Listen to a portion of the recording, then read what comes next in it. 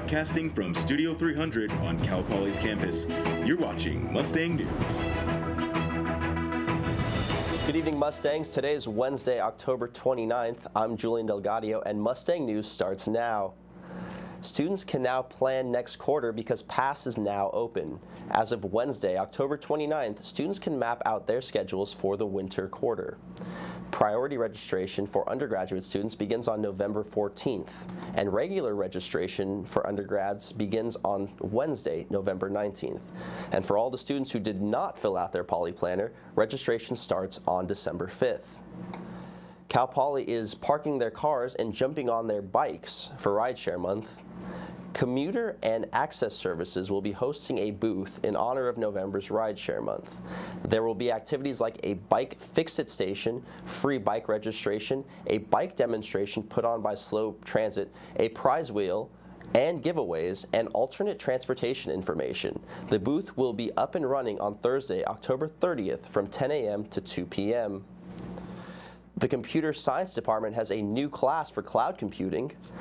Understanding the cloud has been one of the biggest questions for an everyday person. There are so many cloud services such as Dropbox, Google Drive, Box, and the list goes on. Computer Science Department has been recently attempting to bring in industry partners for specific courses. Jay Schultz, a software engineer at Workday Incorporated, will be co-teaching the cloud computing class with Professor John Clements. Uh, as far as the cloud computing class goes, um, really at this point it's, it's fairly open-ended. I think we're going to be uh, introducing students to a bunch of different technologies. Uh, hopefully the students are going to be having a good time and, and, and building solutions um, to, to, you know, to particular problems that they have in mind. Uh, if you have any more questions about the class, drop by the Computer Science Department for more information. The public will soon have a chance to see the future of Cal Poly. There will be a Futurescape City Tour next Monday, November 3rd, and Tuesday, November 4th.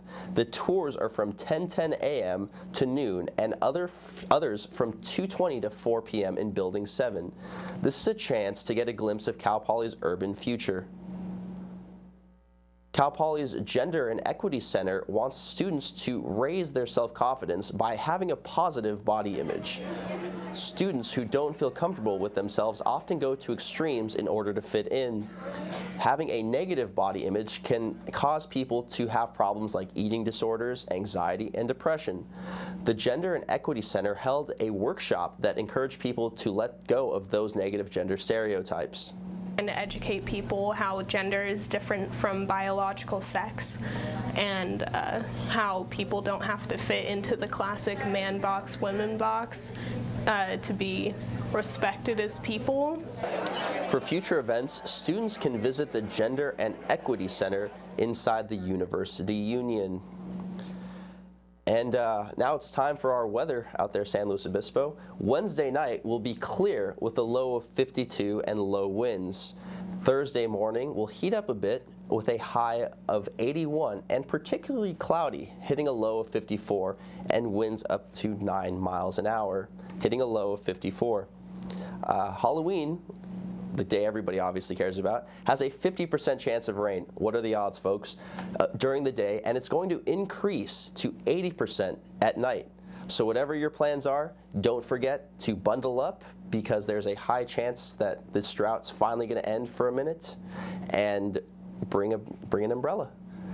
And uh, whatever it is your plans are, are going to be, be sure to be safe out there.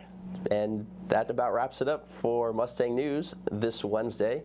You could tune into our weekly half-hour broadcast that's on Charter Channel 19, UHTV Channel 4.2, and Campus Channel 4.1. You can also find constant broadcast coverage on MustangNews.net. Cal Poly, have a great rest of your day and a great holiday this weekend, and go Mustangs against UCSB on Sunday.